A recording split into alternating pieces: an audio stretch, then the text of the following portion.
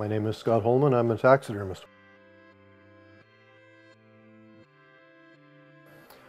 I don't think there was any influences in my childhood that led directly to taxidermy, other than that I, uh, I like to hunt and fish right from day one pretty well. I was, I was shooting arrows or bullets at something. I had no idea when I was young that I would even remotely be a taxidermist. Had no idea at all. Uh, They bring the, the deer head in and um, I measure the head, I measure the size of the head and the swell on the neck, how the horns sit on the head and everything. Then it's skinned out. Uh, and then all I keep is the skin and the, and the skull plate, the top of the, the head with the horns attached.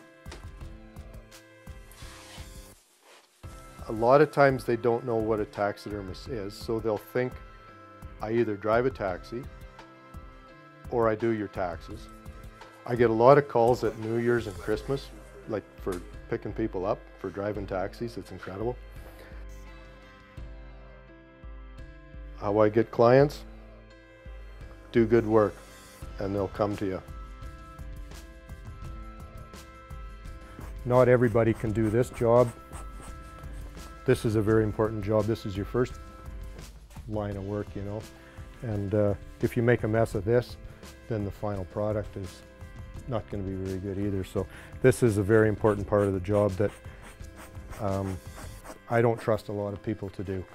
That's why I do this, always by myself.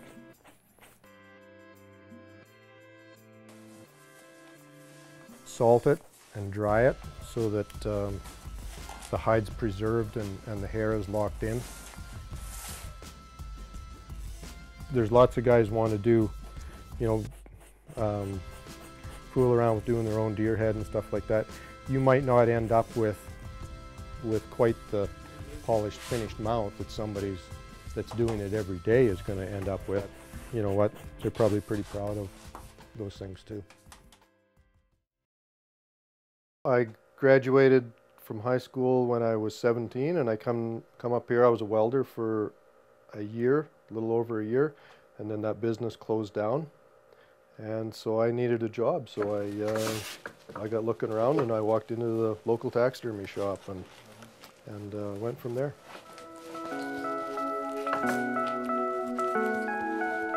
The next step was uh, that shop closed down. Ray moved to BC, and I was either find something else to do or jump into business on my own.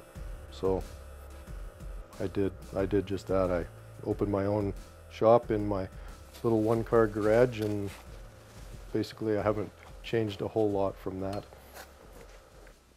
I'll put the eyes in, and then it. Just put the together.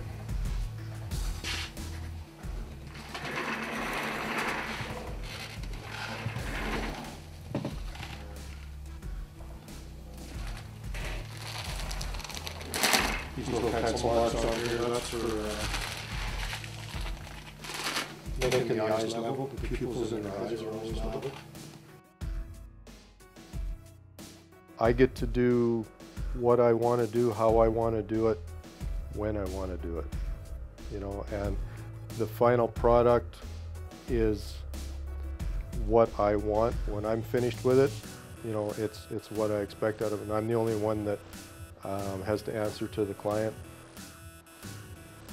You know, the basics of taxidermy are, are fairly simple. Um, you know, the mechanics of it. Um, so I think I grasped those parts of it fairly quickly. Um, but you're always learning, and, and uh, to get good at, at doing it, you know, takes some time for sure.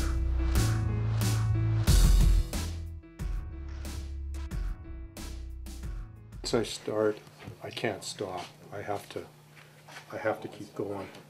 But, um, and this glue, this glue especially, it has to be fresh when you put it on. You gotta put the hide on right away.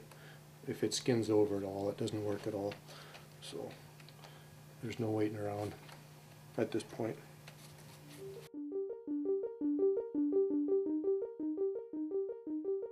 Yeah, there's definitely a respect uh, between the taxidermists that are left. There's only four of us in western Manitoba right now that are making a living off of doing taxidermy. If I got 15 hours into a deer head, I figure that's what I price it for.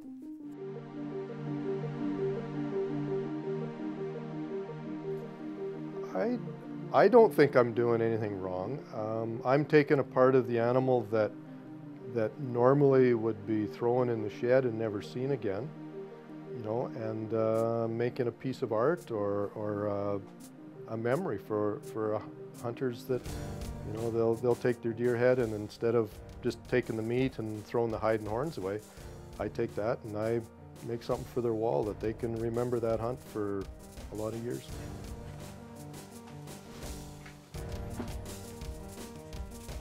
I don't know what percent it is of the hunting population that gets stuff mounted now, but it's not very high. So the fewer hunters are out there, the, the fewer that number is, you know, that's actually going to get stuff mounted. So yeah, I don't, I don't know what the answer there is.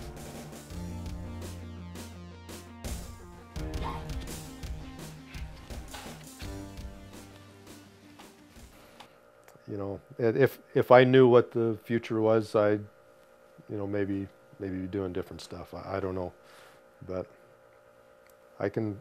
I think it'd be all right for the next few years, but 25 years down the road, no idea.